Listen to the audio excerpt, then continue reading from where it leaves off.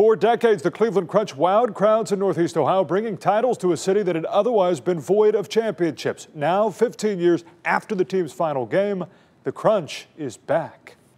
Tony Dore never thought he'd see the day the Crunch returned to Cleveland. I didn't ever really think it was going to come back. But today, more than two decades after he played for one of Northeast Ohio's most iconic franchises, Dore now coaching the Crunch in its rebirth. I think everybody had in their in their mind or in their memories of, of all the great times that, that were had for the, the team, the franchise, and the players and fans in the, in the city. I think the city will embrace it again like it did in the past.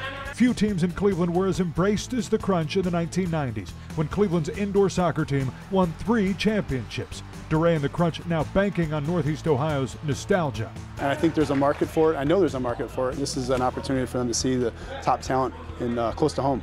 It's been great, nothing but positive reaction. I mean, you know, we have a lot of the, the Crunch fans from the 90s that, you know, the winning culture still resonates with them and we're just trying to connect with them while we're building new fan base and it's everything just been really positive so far. This iteration no doubt will look different. The household names that made the Crunch what it was during those title years, like Hector Marinaro and Otto Orf, aren't there. Fans will have to get to know this new crop, and on day one, the players having to do the same. It's the first training, so it's going to take a little bit of time to get used to everybody. Um, and then once everything starts clicking, it'll get better and better. But while the names are new, the expectations are just as high as they were more than 20 years ago. I think we're going to be really good. Um, a lot of these guys played with, played with each other in the past. So it's just been great to be able to bring everyone together, and I'm absolutely loving what I'm seeing from the top to the bottom. It's been great.